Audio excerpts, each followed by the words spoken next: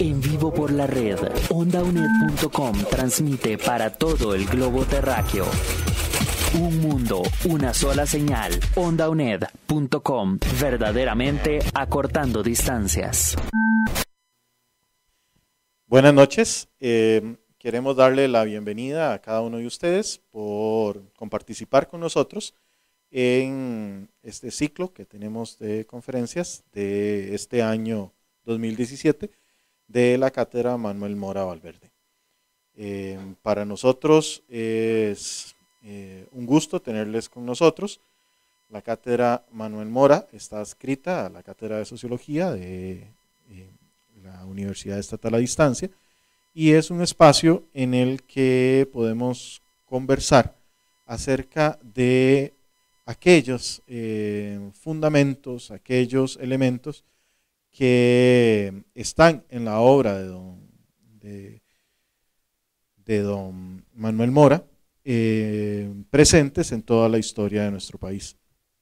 Queremos eh, mencionarles que vamos a estar grabando en vivo para la radio Onda UNED y tenemos eh, a nuestro conferencista, el doctor Germán Chacón Araya, que es investigador y profesor de la Universidad Nacional Costa Rica.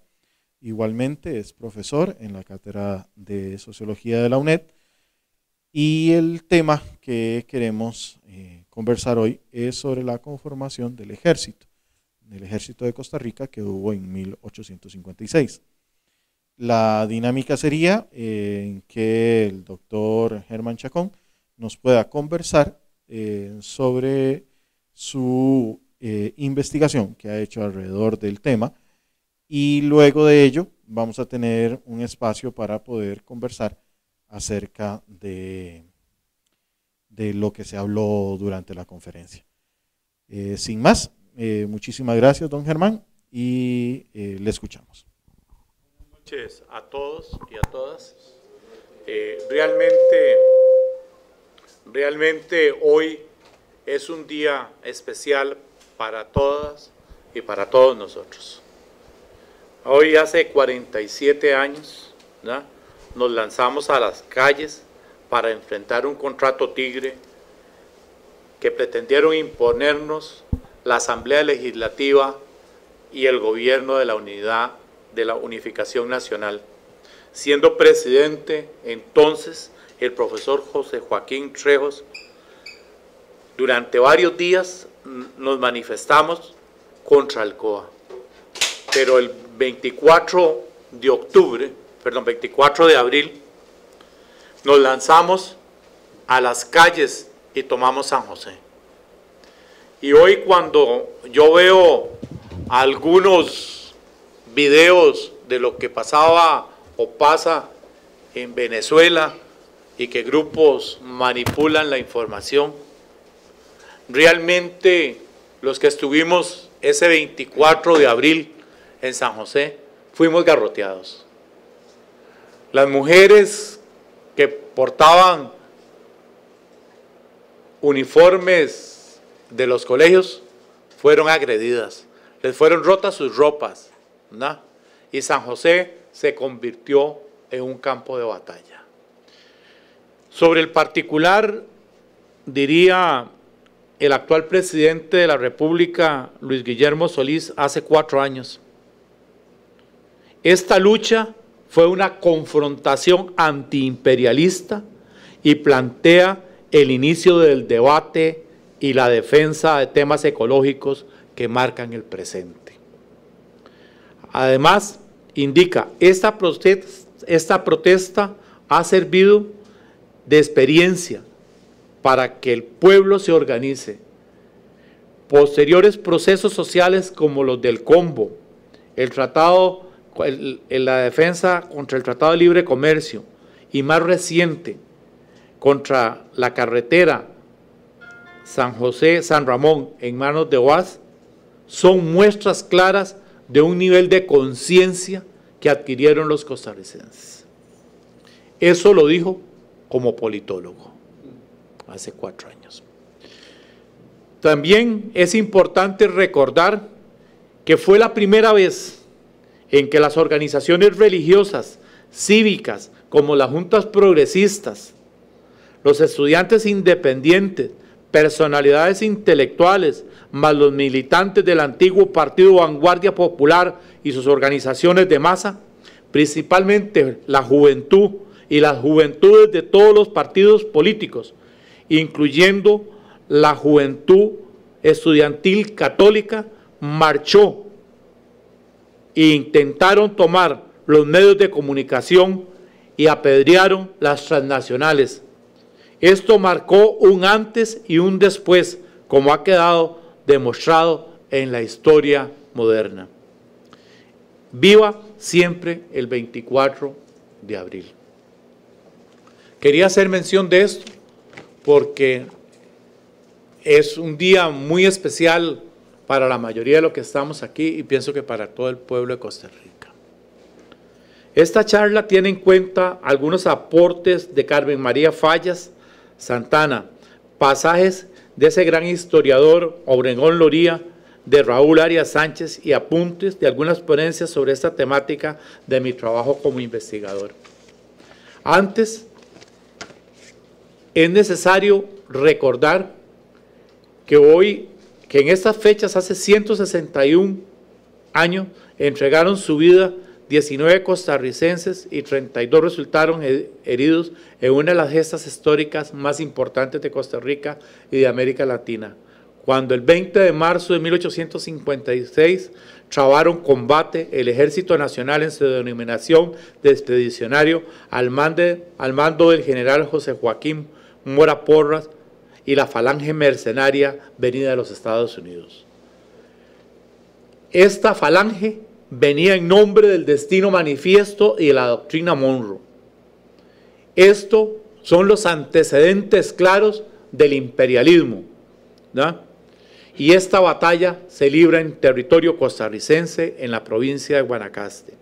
Sin lugar a dudas, este hecho va a marcar la región y se convierte en un hito poniéndole un nombre a esa época, Juan Rafael Mora Porras, uno de los libertadores de nuestra América.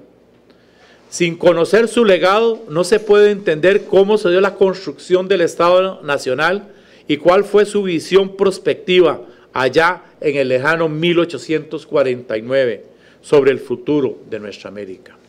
Juan Rafael Mora ocupó la presidencia a finales de 1849 en reemplazo del doctor José María Castro, quien habría renunciado a su cargo. Su nombramiento fue realizado por el Congreso y aplaudido por la mayoría de élites cafetaleras y los comerciantes de nuestro país. Entendió, sí, desde el primer momento que la consolidación del Estado Nacional solo era posible en ese momento si se podía centralizar el poder y afianzar las relaciones internacionales. Mora habría heredado una organización castrense creada desde los primeros días de la independencia. Esa fuerza militar estaba constituida por un grupo de milicias a la usanza de la colonia, la cual tenía como columna un pequeño cuerpo de infantería sobre el que recaía la obligación de ejecutar ejercicios militares conjuntos periódicamente. Este cuerpo armado estaba distribuido en las diferentes provincias y respondía a los gamonales, lo que habría servido para que no en pocas ocasiones se tumbara uno que otro gobernante, generando inestabilidad en la consolidación del Estado Nacional. Pero además, don Juanito consideró el riesgo que significaba el destino manifiesto y la doctrina Monroe, sobre las que en 1854 diría, Adolfo Marie, quien no se estremecerá al pensar que la civilización norteamericana ha penetrado en los desiertos sino con las llamas y, el exterminio, y que conviene quizá a la doctrina del destino manifiesto que como desventura de los tribus indios del norte desaparezcan los hispanos en la faz de la tierra. ¿Quién no se entregará a la desesperación ante brutales actos que tendrán por inevitable el resultado del nombre del encarnecido, la raza perseguida, la familia dispersa, el hogar asaltado y finalmente la nacionalidad aniquilada. Debo decir que Marie era francés, fue el primer, el primer vicecanciller de la República, ¿no? y realmente él entendía muy claramente cuál era la situación que nos planteaba la política del destino manifiesto y la política Murro. Teniendo en cuenta ese planteamiento, en diciembre de 1849, como una de las principales acciones del gobierno de Juan Rafael Mora Porras, se promulga el reglamento de milicias, el cual crea una fuerza permanente, es decir, un ejército nacional, mismo que debe tener un mando único y adjunto al presidente, se dispuso que éste tuviese los siguientes cuerpos de ejército, infantería, caballería, artillería, ingeniería y un Estado mayor. Posteriormente se le agregaría el cuerpo médico. Dispone que el mismo debe ser habituallado adecuadamente e instruido de acuerdo con las necesidades propias de esa actividad. Es por esta razón que se contrata en 1852 al general Fernando von quien debe organizar la instrucción y preparación de las tropas y mandos del Ejército Nacional, estableciéndose la primera Academia Militar de Costa Rica, la cual se regiría por las normas y reglamentos propios de sus similares europeas.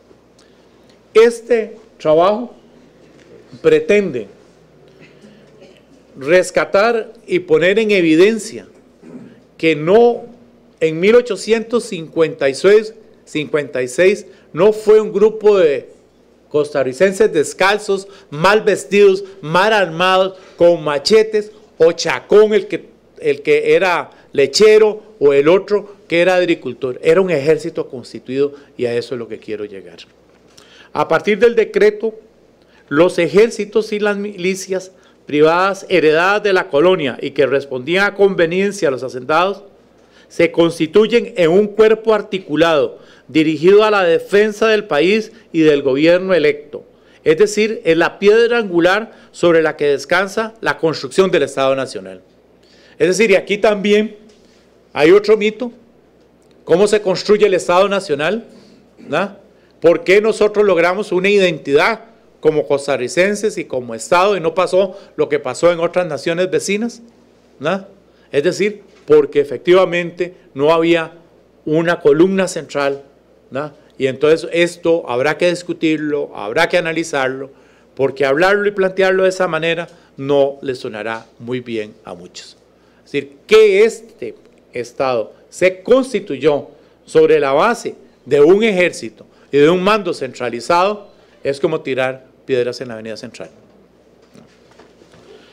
Si buscamos en las páginas de nuestra historia, vamos a encontrar en los discursos del presidente Mora la justificación del por qué era necesario tener un ejército disciplinado, preparado y leal. Diría el presidente en 1850 que el ejército nacional debía dejar de ser un instrumento de localismo y de fracciones y que promovían la inestabilidad y se debería convertir en un instrumento garante del orden. En 1850 dispone el establecimiento de un segundo cuartel en San José, el que llevará el nombre de la artillería. Es este un hábil movimiento con el fin de tener control sobre las tropas. Nombra, en consecuencia, a José María Cañas, persona de toda su confianza, como el encargado, el responsable de este nuevo cuartel. Posteriormente es sustituido por su hermano, José Joaquín Mora Porras aduciendo que la concentración de la Fuerza Armada en un solo cuartel de la capital facilitaba el alzamiento contra el gobierno.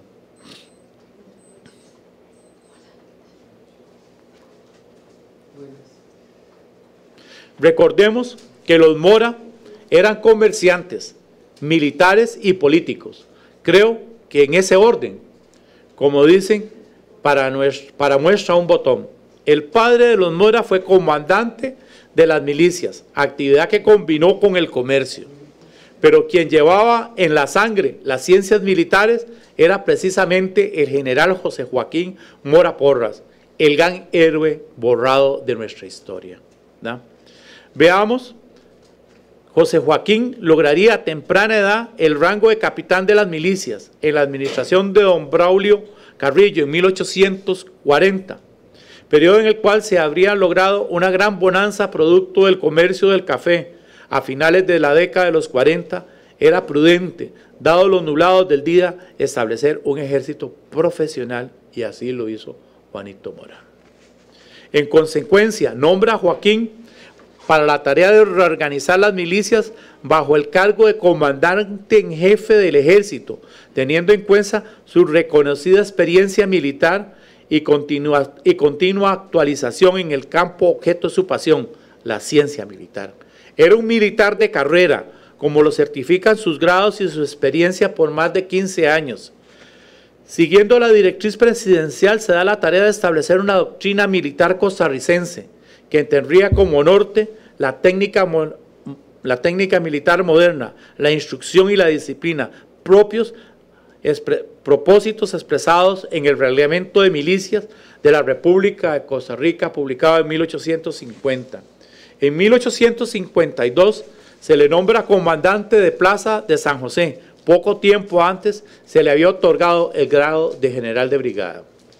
De conformidad a la ordenanza, se forma un ejército eficiente, combativo, disciplinado. Asume junto al coronel von la creación de un ejército nacional. Todos los logros de 1856 le permiten que se le nombre como general de división. Asimismo, en 1854, el gobierno restableció la Comandancia General de Armas, puesto estratégico y máxima posición de mando que plantea la subordinación de toda la plana del ejército, sin lugar a discusión. Este estamento era superado en autoridad solamente por el poder político propio del presidente. Por ello, desde el inicio de sus funciones, don José Joaquín priorizó la satisfacción de las necesidades materiales del ejército. En consecuencia, entre 1851 y 1854 se adquirieron una importante cantidad de armamento de la mejor calidad y cantidad posible. Incluye armas tan modernas como los 500 fusiles franceses de tipo Miné y los cañones para la artillería y su parque. Es decir, no fuimos en 1856, como nos han vendido la idea, un poco de arrapientos con machetes a combatir en Centroamérica, porque nuestro ejército tenía la capacidad, la preparación, como vamos a ver, para enfrentar esto. A finales de 1854, don Adolfo Marié, quien ya les expliqué quién era, publicó en la Gaceta con el visto bueno de Mora, existe no solo en Costa Rica, sino en América Central un partido norteamericano que busca la anexión y por eso empezó la preparación del país para que no nos agarren asando elotes. Por eso se crearon las milicias para la guerra, debidamente compartimentada y con funciones específicas, de acuerdo a sus habilidades, a su procedencia social, étnica, sus habilidades, funciones en la sociedad, con lo que gran cantidad de agricultores no irán a la guerra, ni artesanos, sino que se quedarán en la producción, haciendo lo que saben hacer bien, sembrar, sobre todo en las periferias. Lo de las periferias era porque estaban en zonas estratégicas para evitar el sabotaje. Es decir, no se trataba de las zonas conocidas de siembra. Es decir, el Estado costarricense toma una serie de consideraciones táctico-estratégicas para lograr mantener a la población alimentada, para poder tener una retaguardia que pudiera alimentar al ejército. ¿Por qué? Porque se sabía que eh, del norte habían espías en todo el territorio nacional. Pero esta cuestión de la inteligencia y de los espías no era propio solo de los norteamericanos. Nosotros teníamos nuestro trabajo de inteligencia y de espionaje en los Estados Unidos. De hecho, nuestro embajador Molina nos tenía al tanto de lo que pasaba en Washington. ¿no? Efectivamente, en Washington circulaba el Granadino en inglés, que era el periódico editado por William Walker en Granada. Y él mismo planteaba, entre otros aspectos, que había que quitar a los Mora porque los Moras se habían adueñado de Costa Rica y que los Mora tenían aquí un país de esclavos, entre otras cosas. También en algunos números del Granadino se plantea la necesidad de reforzar las fuerzas que los Estados Unidos, llámense entre comillas, filibusteros, tenían en territorio centroamericano. Y entonces ahí hay un planteamiento estratégico en Washington, conocido por el Congreso de los Estados Unidos, para reforzar las fuerzas de avanzada que habían desplazado hacia el territorio costarricense. También en esos días se escucha la voz del ministro de Hacienda y Guerra, que a la letra dice que circunstancias recientes, está justificando ante el Congreso de la República, habían motivado al gobierno a tomar la decisión de aumentar sus tropas de 6.500 efectivos a 9.000 plazas. Es decir, que en el análisis con la información de inteligencia que tenía el gobierno de Costa Rica, preveía efectivamente que los Estados Unidos iban a lanzarnos parte de su ejército al territorio centroamericano. Para ese fin, las provincias de Alajuela y Heredia deberán aportar mil hombres cada una y el resto se reclutará en Guanacaste. El ministro Carazo señala que el gobierno había aprovechado la paz de lo que dichosamente disfrutaba el país para consagrar constantemente la atención del Departamento de Guerra, adoptando la sabia y bien conocida máxima, si quiere la paz, prepara la guerra. Eso está en los archivos nacional bajo el número 7483 para el que lo quiera buscar. En tanto en Washington se escribía, ya es tiempo de que una raza de hombres del norte, suplante a la arrogancia bastarda y degenerada raza que tan terriblemente aflige a América Central. Eso se publicó en Washington Star en febrero de 1855. Es decir, de un lado y de otro se preparan los elementos psicosociales para ese enfrentamiento. Meses después, el ministro de Hacienda y Guerra informa al Congreso que no había sido posible alcanzar la meta de aumentar el número de efectivos a 9.500. Por otra parte, señaló que aunque los almacenes se encontraban bien surtidos de armamento y pólvora y demás utensilios de guerra, el gobierno deseaba introducir al país el uso de armas mejoradas por los recientes descubrimientos hechos en Europa. Para cumplir con ese propósito se habían pedido a Francia los fusiles Miné que habíamos hablado, indicando que eran los usados en Crimea tres baterías de cañones, tres piezas de bronce y dos fortificados. Es decir, más o menos unos seis ah, cañones o, artillería. Todo esto con su respectivo parque. Esto puede ser localizado en archivos nacionales bajo el número 20.838. Además de esto, en ese momento se informa de que eh, se han comprado 9.000 kaites 9.000 cananas y 9.000 uniformes.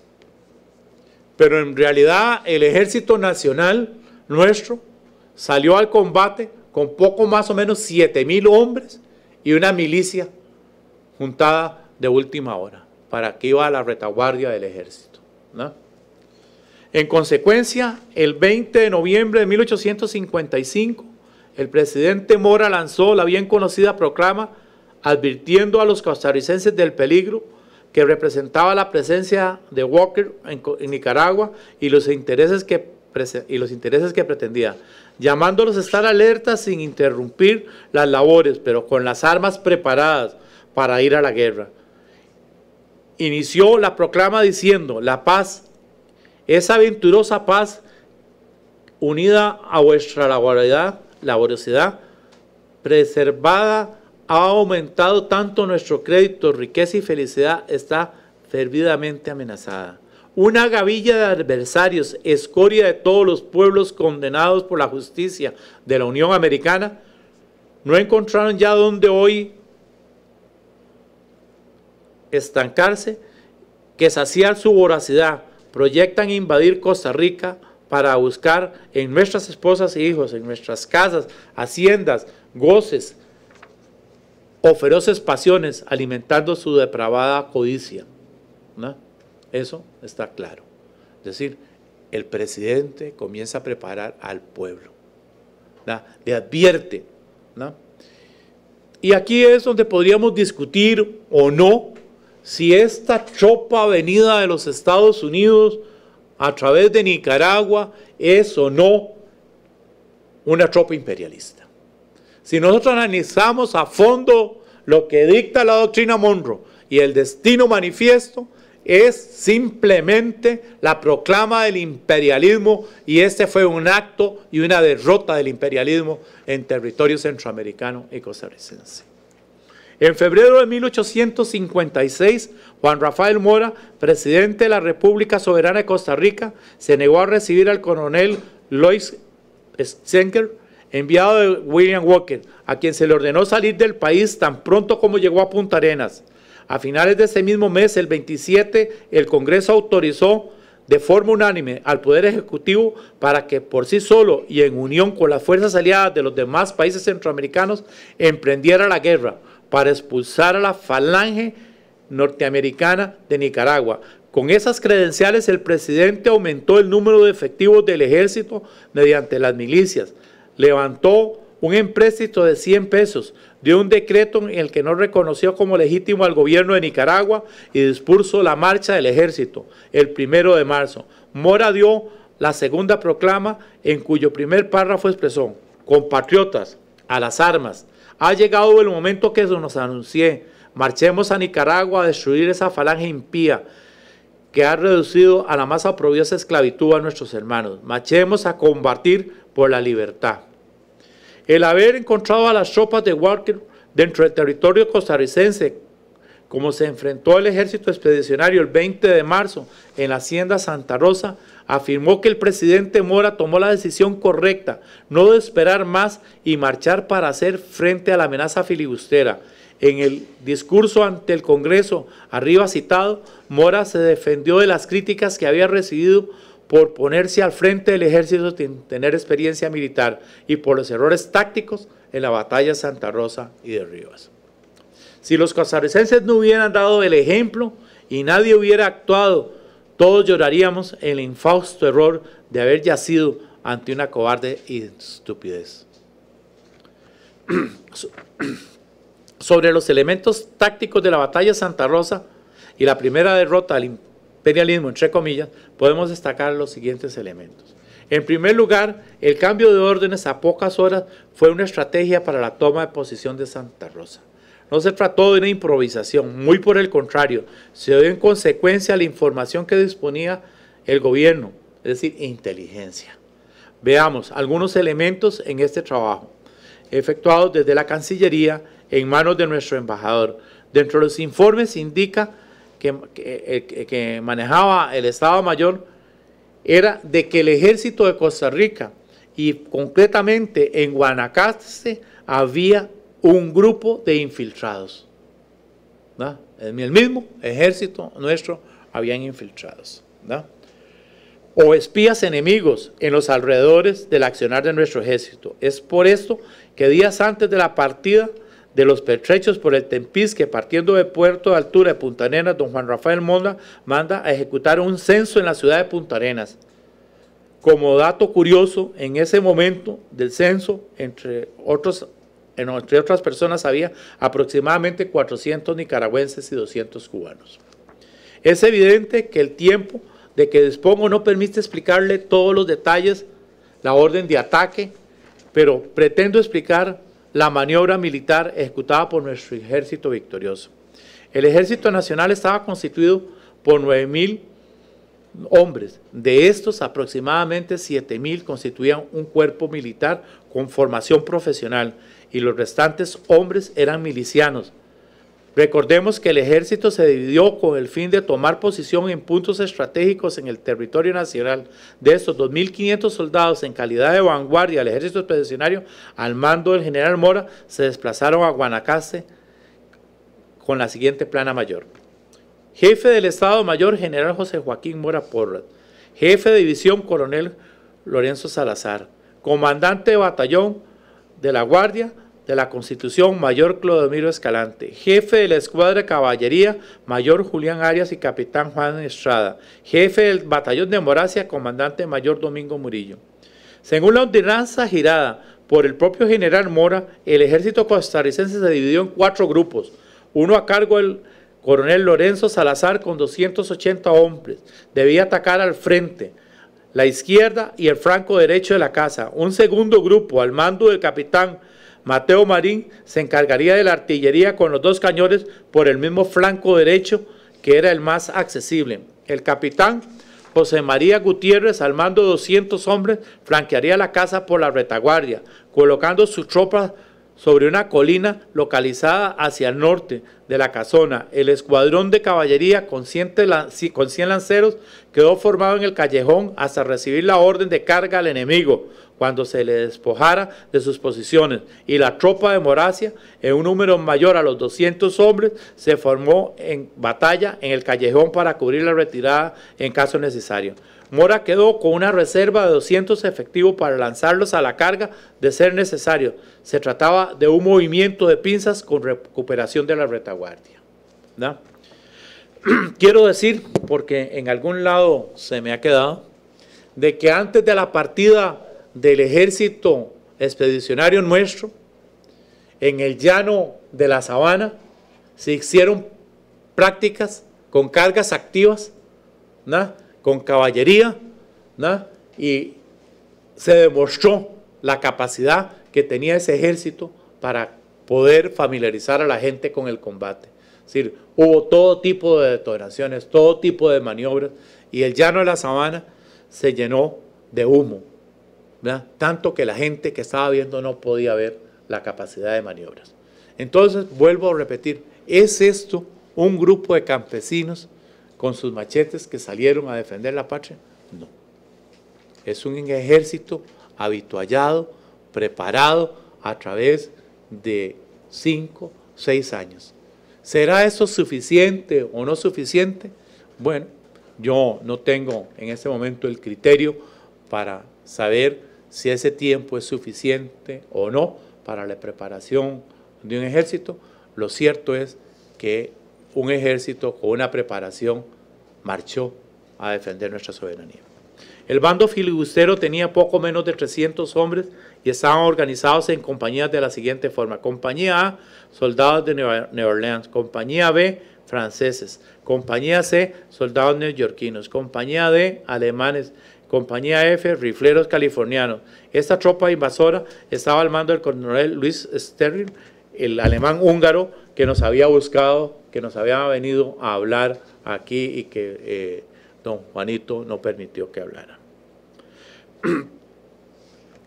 Es importante decir, aunque ahora vamos a ver lo que plantean algunos historiadores sobre el particular, de que realmente en el momento de la confrontación, ¿no?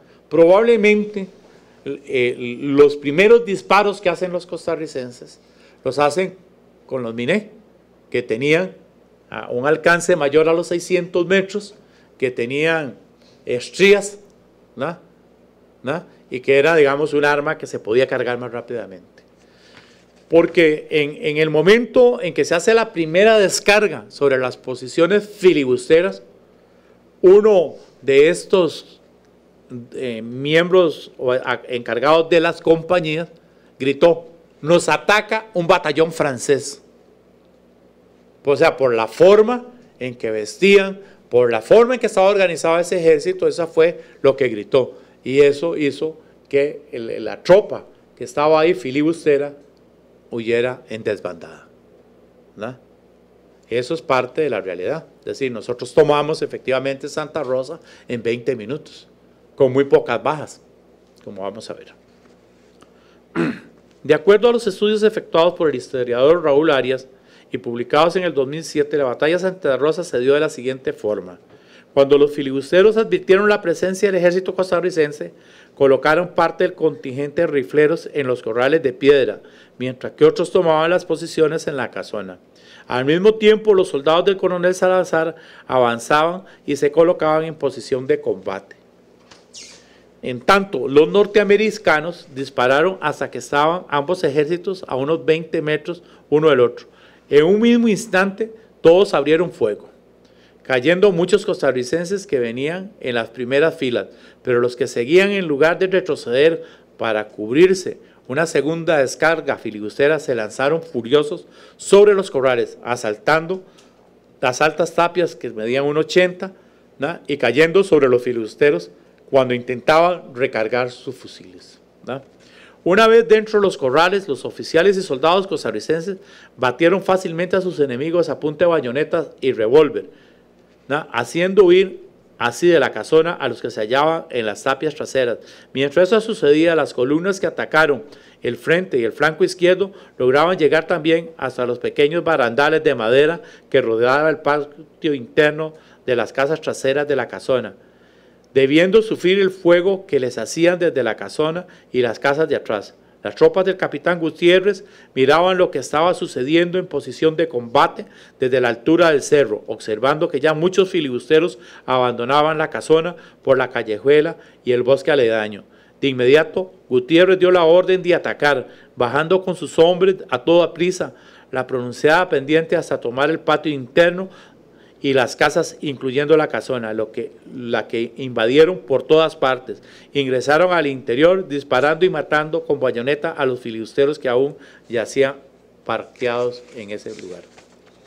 La mayor parte de los heridos y muertos en el bando de Costa Rica cayeron en el flanco derecho de la casona, frente a los corrales de piedra, donde a no poder cubrirse por ser una esplanada, fueron fácilmente blanco de los bien preparados rifleros filibusteros. La columna que atacó el frente de la casona también recibió una fuerte descarga que dejó tendidos a muchos soldados. Es muy interesante notar cómo resultaron muertos algunos de los más altos oficiales, como el mayor Manuel Quirós y el mismo capitán José Matías Gutiérrez, cayendo ambos abatidos por ir al frente de sus respectivas columnas, con revólver y espada en mano, mientras impartían sus órdenes al avance y al ataque.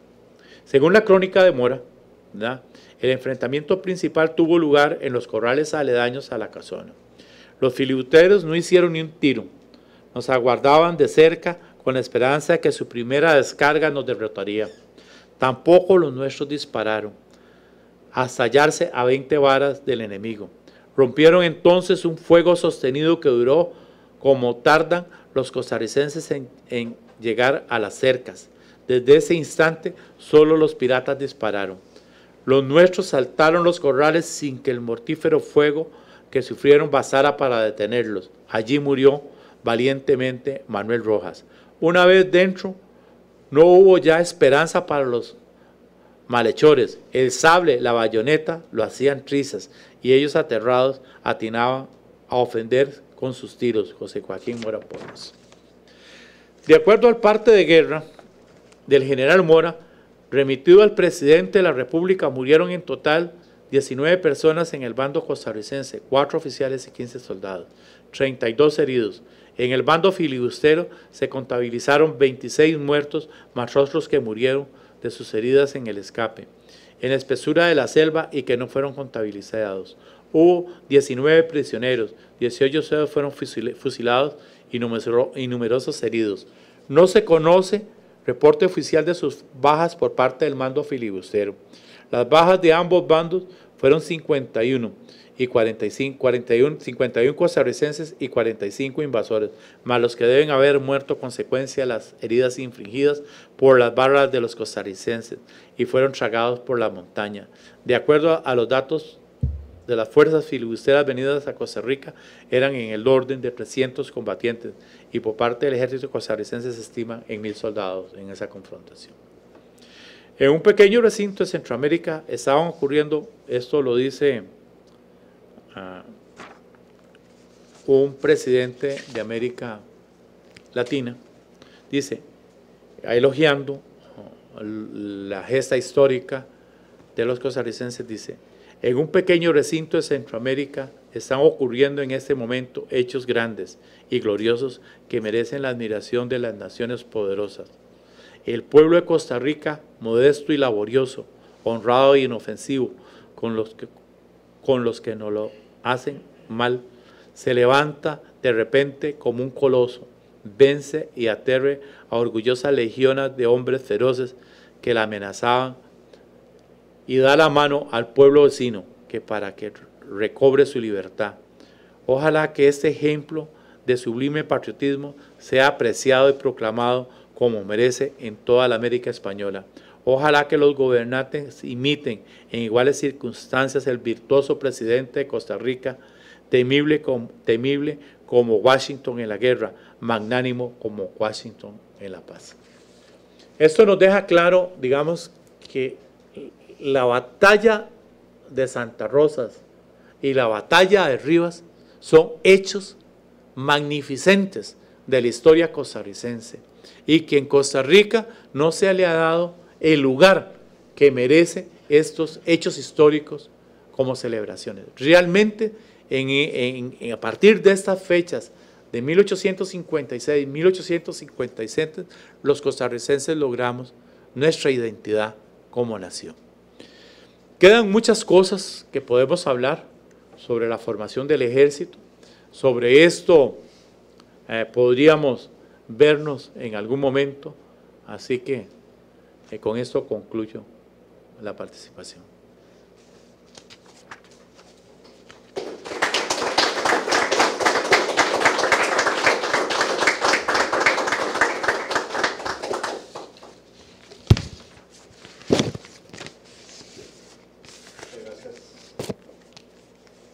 Muchas gracias, don Germán. Eh, no sé si eh, tienen algún comentario o alguna pregunta. Tendría que pasarles el micrófono para que pudiera ser grabada. Entonces no sé si alguien quisiera poder mencionar algo.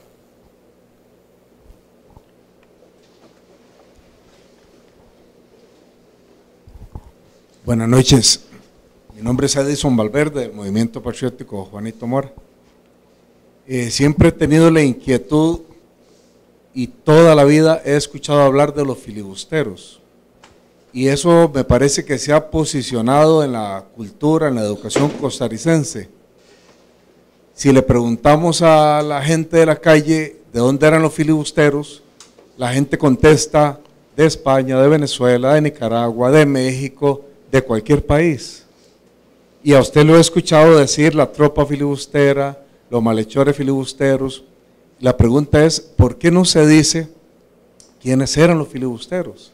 Invasores gringos o, no sé, un término, pero que defina quiénes eran. Si seguimos repitiendo que eran filibusteros, yo creo que no estamos ayudando a la educación de la población costarricense en la verdad histórica. Ah, yo comparto plenamente su posición. De hecho, yo menciono ahí de, dónde venían, de Mississippi, de Tennessee, etcétera, ¿verdad? Sin embargo, cuando yo hablo y leo aquí, leo cómo le llamó don Juan Rafael Mora, les llamó filibusteros, ¿no? les llamaron malhechores, ¿no? Eh, pero también le llamaron que era una falange norteamericana, claramente. Es decir, yo pienso que, eh, en realidad digamos, el término filibustero, como en algún momento lo plantea el mismo Raúl, era como los piratas. Era un sinónimo, sinónimo de pirata. Pero la realidad es que eran fuerzas mercenarias. Eh, a cargo de, los Estados Unidos. Si eso no fuera así, no se hubiese discutido en, en el Congreso de los Estados Unidos si se le daba apoyo o no se le daba apoyo es decir, estas mismas fuerzas fueron las que se apoderaron de medio México. Era una forma del expansionismo norteamericano y, está fundamentado en la doctrina Monroe y el destino manifiesto. Es decir, eso es lo que da el marco de acción de estos grupos. Además, por ejemplo, eh, en alguna parte de lo que yo mencionaba, se habla cómo, por ejemplo, los Estados Unidos estaban pensando hacer lo mismo que los nazis. ¿verdad? Es decir, aniquilar a los hispanos, que deberían ser sustituidos por hombres del norte. ¿no? Es decir, ellos venían a aniquilarnos. Yo pienso que ni siquiera querían convertirnos en esclavos. Eso es lo que se deduce de lo que ellos, lo que se discute y se plantea William Walker en, los Estados Unidos. ¿no? Yo pienso que ese es un punto. a mí personalmente no me gusta el término filibustero.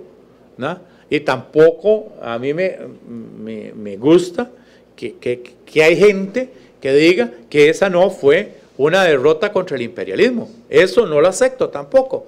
Guardo eh, en cierto sentido ah, eh, respeto por esas posiciones, pero hay una cuestión clara, ¿verdad? Y, no nos vamos a pelear si fue una isla o no donde se dio la primera derrota al imperialismo, porque ahí viene todo el cuento. Al buen entendedor, pocas palabras. Es decir, el demostrar efectivamente que nosotros nos enfrentamos a una falange, o sea, una parte del ejército de los Estados Unidos, sea de mercenarios o no, eso es parte de la realidad. ¿Usan mercenarios ahora los Estados Unidos en, los países árabes o no los usan? ¿Ah? Y, ha sido toda una técnica toda la vida. Esto no es nuevo. Eso está claramente determinado desde 1822, si no me, falla la memoria, en que se plantea la, doctrina eh, Monroe. Es decir, es una política de una nación que tiene claramente determinado que el mundo es de ellos y que ellos son los que deben ser la raza superior.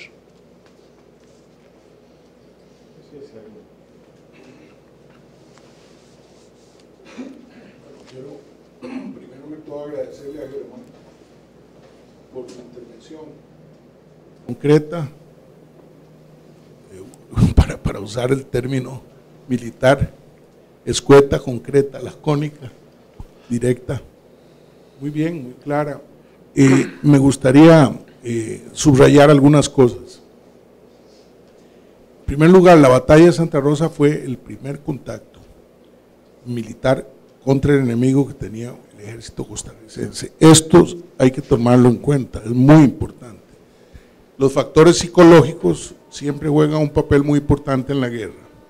Pero no solo eso, sino que es por primera vez bajo fuego real donde todo eso que se había practicado, todo eso que se había entrenado, se iba a poner en acción. Y esto significa mucho desde el punto de vista técnico.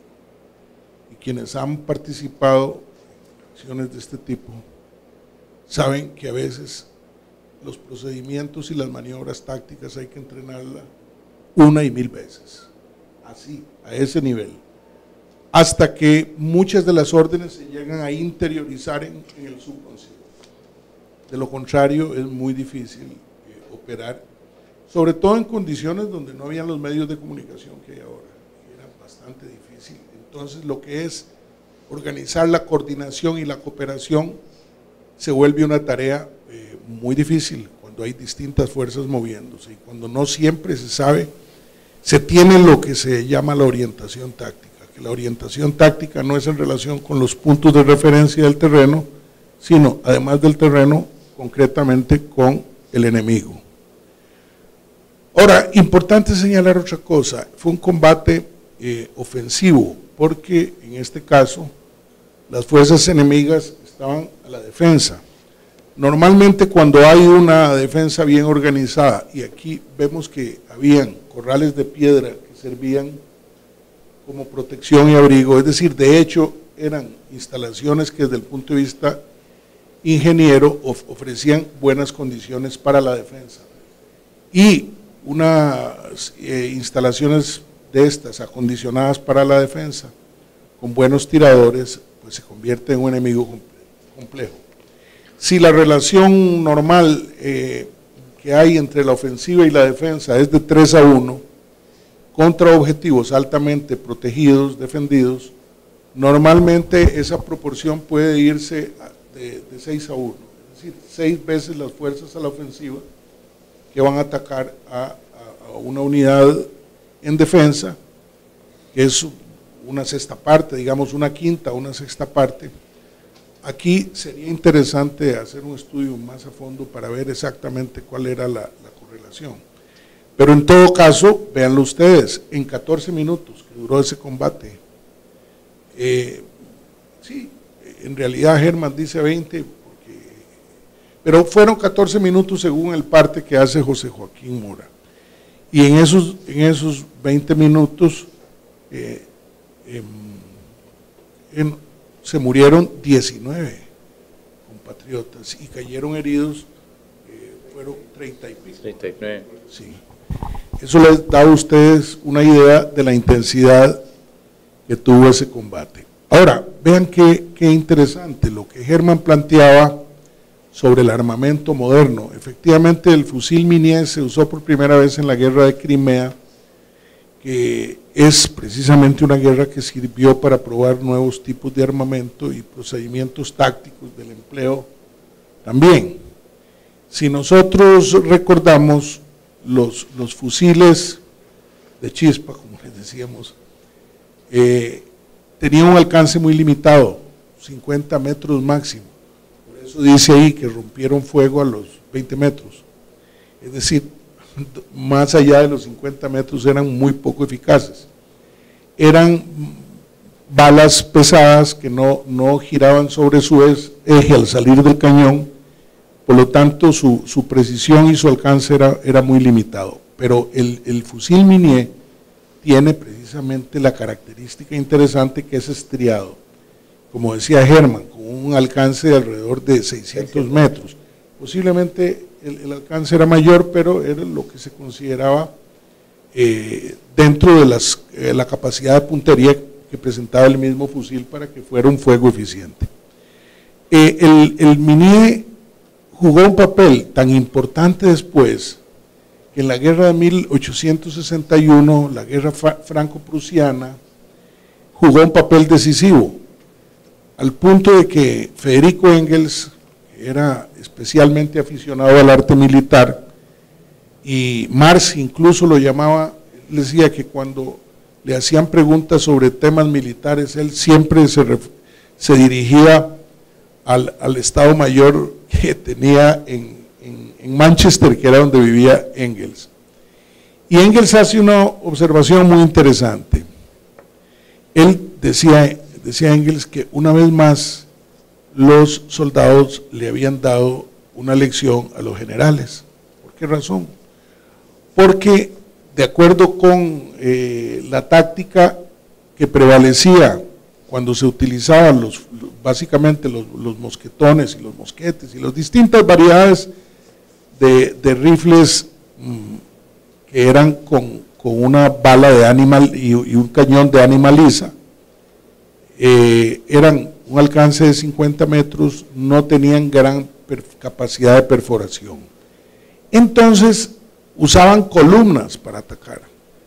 Yo no sé si ustedes han visto que van tocando tambores y son como cuadros con columnas y hileras y, y columnas profundas. Entonces, así fueron a la guerra de 1861 y un disparo de los fusiles estriados, Por ejemplo, ya mataba no solo el soldado que iba adelante, sino que se podía llevar varios más atrás, porque podía atravesar uno y a más. Tenía una gran capacidad de penetración.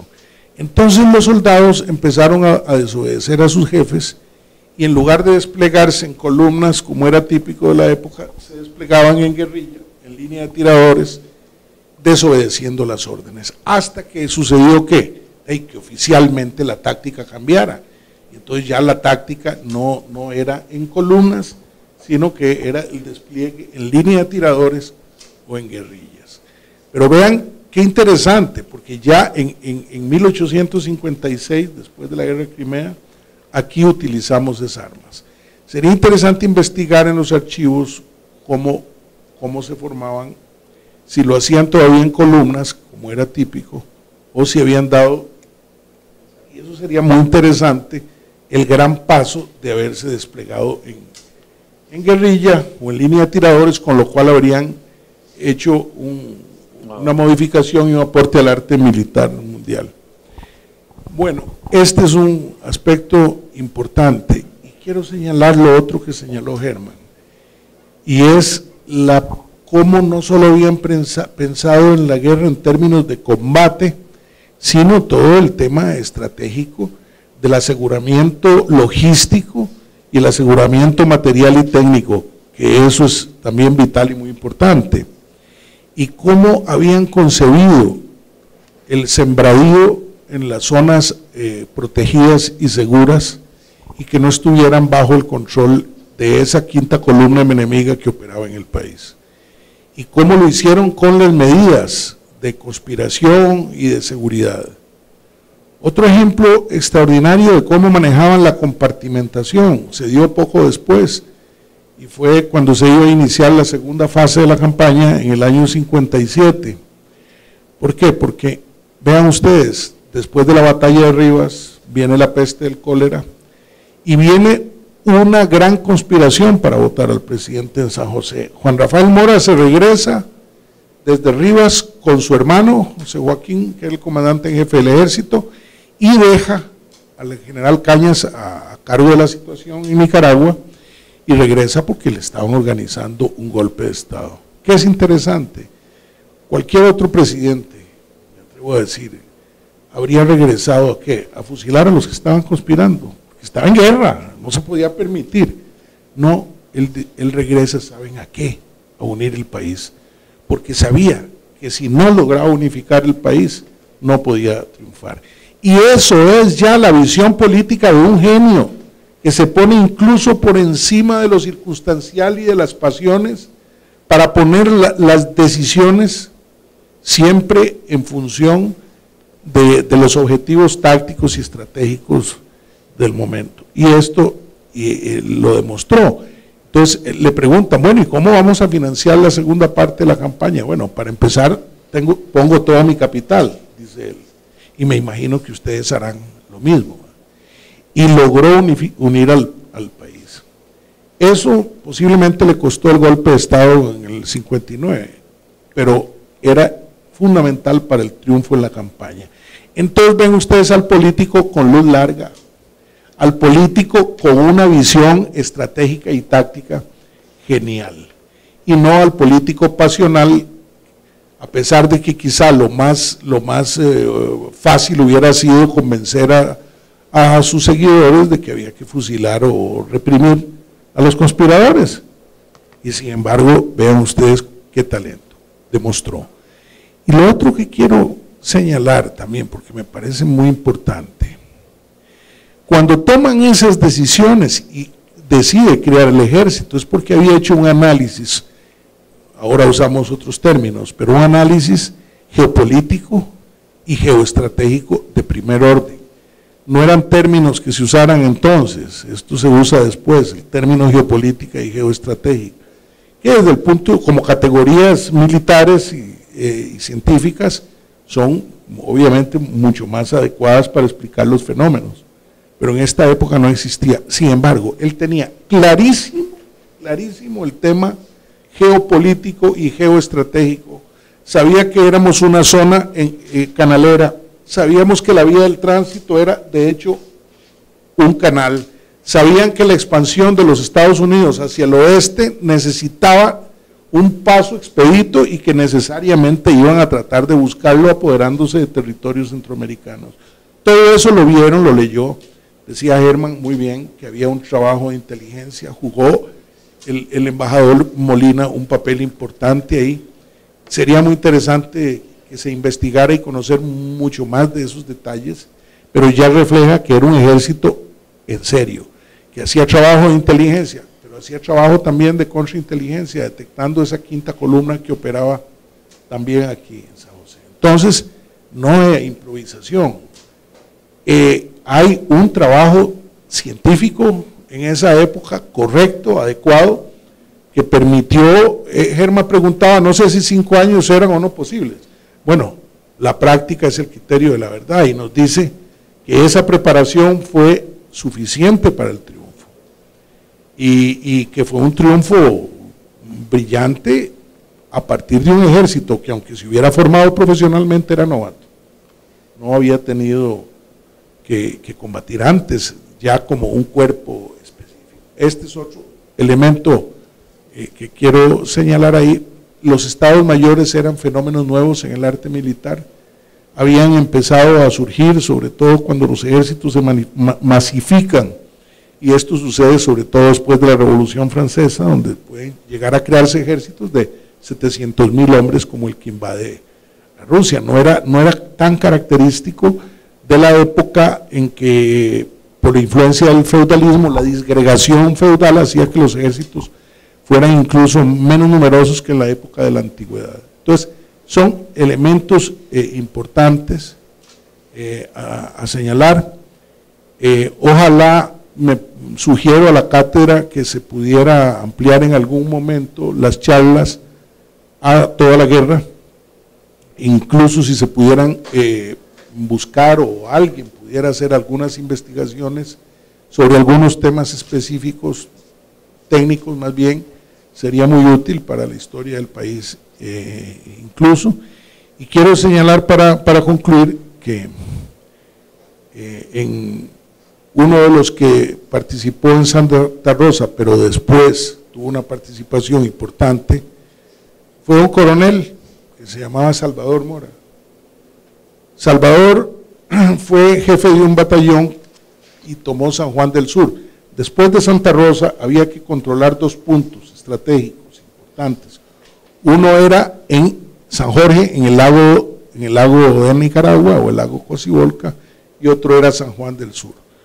¿Por qué? Porque uno era un puerto en el lago, muy importante para la vía de tránsito, y el otro era el puerto en el Océano Pacífico.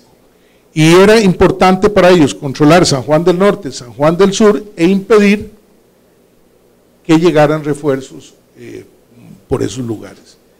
Entonces Alfaro Ruiz recibe la orden de tomar San Jorge y Salvador Mora eh, toma eh, San Juan del Sur y después ambos son llamados a la batalla de Rivas y entran en medio de la batalla de Rivas Salvador con la tropa que venía de San Juan del Sur y Alfaro Ruiz y eso permite triunfar en la batalla de Rivas, porque cambia la correlación que se había dado en Rivas. Salvador era tío bisabuelo mío o tío abuelo de, mi padre. Tenía 26 años y empezó la guerra con el grado de coronel.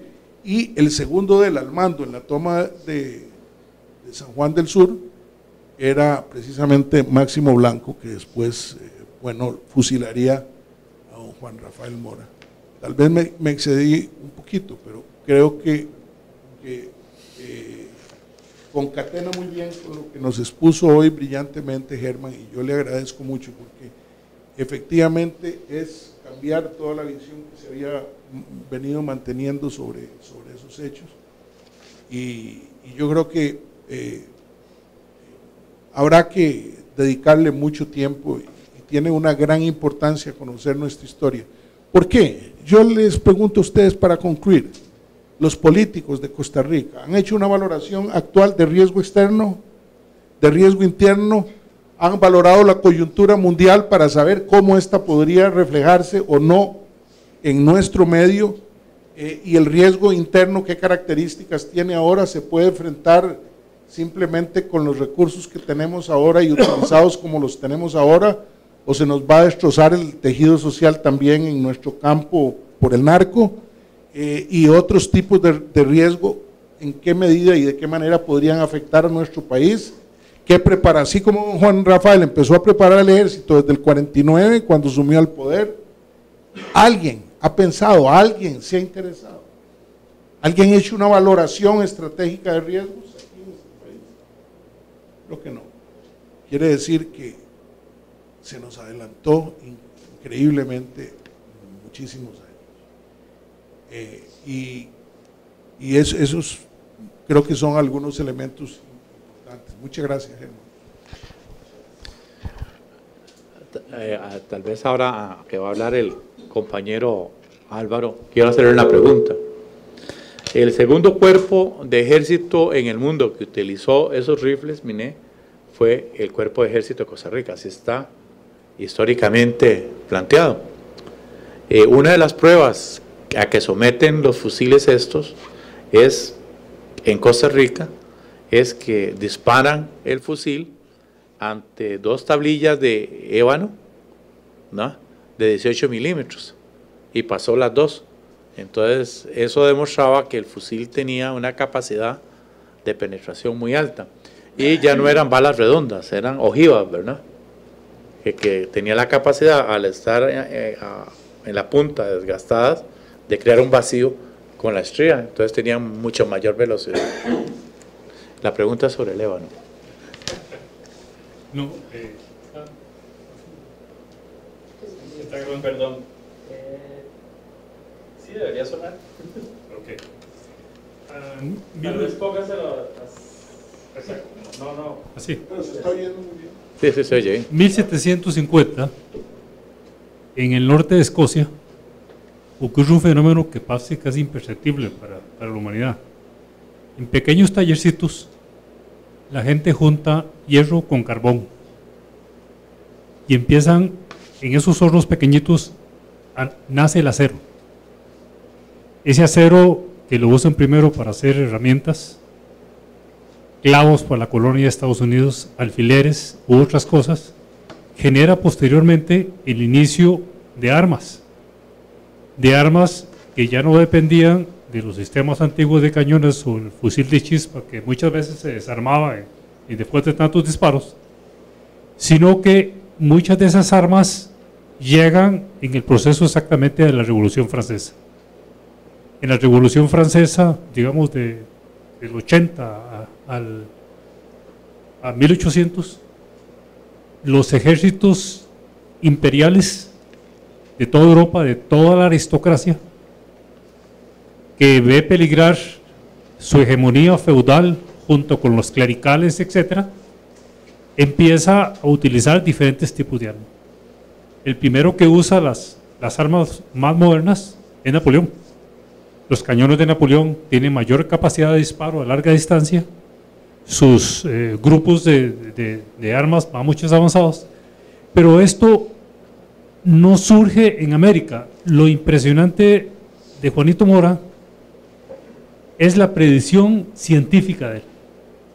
Él está leyendo la situación geopolítica mundial, está leyendo que si hay una confrontación en Estados Unidos, que vienen las fuerzas del norte con Abraham Lincoln para acabar con la, con la esclavitud, está leyendo que muchísima gente, hay un museo en, Washington que se llama el del Smithsonian, que hay la historia del pueblo americano, y ahí se ve, como la cabaña del tío Tom, todo lo que se llama el túnel, por donde la población del sur esclavizada, y de dónde venía esa población. Esa fuerza que genera la primera riqueza del gran capital de Estados Unidos, de los grandes hacendados, incluyendo Washington, y todos ellos tenían millones de esclavos, nace a raíz de que los escoceses exportan a África, a los árabes, clavos, herramientas, u etcétera, y los árabes no tienen cómo pagarles. ¿Con qué les pagan? Con esclavos. Y esos son los esclavos que van a Jamaica, que van a Estados Unidos, que van al sur de Estados Unidos, todo eso. Y esa fuerza productiva de trabajo genera una riqueza monstruosa que es todo el sur, desde Atlanta hasta Luisiana, todo eso. Ahí en Washington hay, varios museos de esto. ¿Qué pasa después? Cuando se ven en peligro que esa fuerza de trabajo esclavista, que es la que genera la producción de algodón y una serie de productos, se quiebre, todo ese grupo del, de- eh, del destino manifiesto, del racismo más feroz, etcétera, busca nuevos horizontes. Le arranca un tercio o más del territorio mexicano, ¿de acuerdo? Y se viene sobre Centroamérica. Pero la maravilla para mí de Juanito es que él prevé 20, 30 años antes de lo que viene y forma ese ejército que vos explicás y, trae las armas respectivas para combatir a aquellos. No es un, un ejército de mercenarios improvisado. William Walker ya había combatido en Sonora. William Walker tenía formación militar. William Walker trae gente, incluso instructores militares como Lessinger, que vienen de, las fuerzas europeas. Y las gentes que vienen simplemente son grupúsculos esclavistas, ¿de acuerdo? Que son los mismos que están actuando en estos momentos en la OTAN o en Medio Oriente. ¿Cuál es la diferencia de esos con los de ISIS, los otros, los de Afganistán, los otros? Son los mismos grupos. Además, a mí me pasaron información un día de estos que en estos momentos están re- recolectando a toda la población, lo que se llama el ejército secreto de la CIA, para mandarlo al Medio Oriente, que lo están mandando a, Irak, Afganistán, porque el punto se está volviendo muy caliente. Ahí está el ejemplo de los 160 que mataron ahorita en, una mezquita en, en Afganistán, que es respuesta a la bomba de la, la madre, no sé qué cosas que tiraron contra el, al- Al Qaeda, el mismo ejército formado por Estados Unidos. Entonces, recogiendo históricamente, es importantísimo que nosotros tengamos claro que la predicción científica es fundamental, no solo a nivel de espionaje, información, geopolítico, militar, armas, etcétera, para prever lo que va a pasar, lo que decía Manuel, de los efectos externos. Nosotros somos como conejitos buenas gentes. Estamos esperando nada más que nos vengan el corte del pescuezo. Yo propuse hace un año, no se acuerda, la formación de los comités patrióticos en todo el país. Comités patrióticos en cada una de las comunidades, en todas las fronteras en el país, que funcionen a nivel civil, pero también que empiecen a tener una información o una formación que se la den los especialistas de defensa nacional y que se empiece a trabajar. ¿Cuándo existieron comités patrióticos en Costa Rica? Se llamaban patrullas voluntarias en el año 55, cuando Somoza nos invadió. Cuando Somoza nos invadió en el año 55, las patrullas voluntarias, que eran como los comités de cuadra de Cuba, funcionaban en todo San José y controlaban todo San José con las, con las patrullas voluntarias. Entonces yo, yo le invito a los compañeros que en un momento determinado nosotros hagamos un estudio, en una reunión ya, si quieren más privada, de un análisis de la previsión científica en el sentido de que la dialéctica que se forma en un momento determinado no arranca de cero, que hay indicadores que están moviéndose poco a poco. ¿De acuerdo? Eso es todo lo que quería decir. Gracias. No, a mí me parece eh, claro, evidente, ¿verdad? de que Juan Rafael Mora y su equipo de asesores ¿verdad? tuvieron una visión muy clara de qué era lo que se venía sobre, sobre América Latina, ¿verdad? sobre el mundo. Es decir, eso no es casual. Eh, eh, claramente, entonces cuando la gente habla de Juan Rafael Mora, habla como si él existió en 1856. No, el primer decreto de don Juan Rafael Mora es la constitución de un cuerpo militar moderno. ¿verdad? ¿Por qué? Pero no lo pone en seco. No es por eso, es que él lee claramente qué es lo que viene del norte, qué es lo que nos va a pasar. Y esa es la gran habilidad del político. Y yo creo que lo han dicho muy bien el compañero Manuel y Álvaro. Eso es parte de la historia que hay que estudiarla para aprender de esa historia. Señores, vieran que se nos fue el tiempo. Ya son las siete y media. Eh, qué bueno hubiera sido poder tener un poquito más de tiempo, pero eh, sí, sí tenemos que dejar el aula. Eh, les agradecemos mucho que hayan podido venir. Les invitamos a que si quieren conversar con don Germán, ahora puedan acercarse. Eh, de parte de la cátedra Manuel Mora y de Radio Onda UNED, les agradecemos mucho su presencia y muy buenas noches. Onda UNED. Acortando distancias. En vivo por la red, ondaunet.com transmite para todo el globo terráqueo. Un mundo, una sola señal. Ondaunet.com, verdaderamente acortando distancias.